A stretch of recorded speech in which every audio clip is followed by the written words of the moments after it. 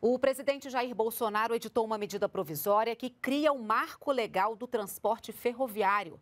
Vamos ao Palácio do Planalto. A repórter, a repórter Márcia Fernandes traz ao vivo para a gente mais informações. É isso mesmo. Olha, o governo federal, ao editar essa medida provisória, ele pretende aumentar a segurança jurídica e, com isso, atrair mais investimentos do setor privado no setor ferroviário brasileiro. E, para isso, essa medida quer reduzir a burocracia para a construção de novas ferrovias e também buscar aproveitar trechos que já estão prontos e estão ociosos e melhorar a prestação de serviços. Uma das mudanças permite a construção de novas ferrovias por autorização, como já ocorre em setores como telecomunicações, energia elétrica, portuário e aeroportuário.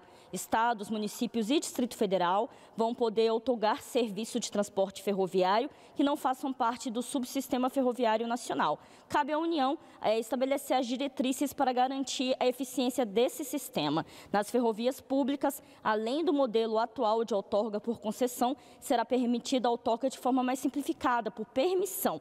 Também vão ter facilidades na documentação na hora de prestar os serviços de transporte ferroviário como o operador ferroviário independente. E segundo o governo federal, é, até agora os investimentos ferroviários por meio do setor privado, investimentos por concessões do setor privado no setor ferroviário brasileiro estão em torno de 30 bilhões de reais. Renata?